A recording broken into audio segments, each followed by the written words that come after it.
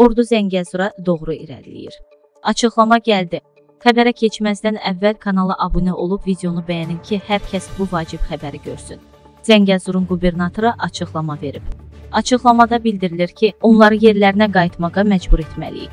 Dözməyəcəyik, biz hər şeyə hazırıq, ancaq atışma və iki tərəfli gərginlik istəmirik. Hazırda sülh danışıqları davam edir. Lakin əhali öz ərazisinin müdafiəsinə hazırdır. Sizə erməni vandallarının mətubat xəbərini çatdırdı. Onu da çatdıraq ki, 2 gün bundan qabaq Azərbaycan ordusu Zəngəzura doğru irəlilədi və vəziyyət yenidən gərginləşdi. Bu gərginlik aradan qaldırılmasa ordumuz düşmənə lazımı cavabı verəcək.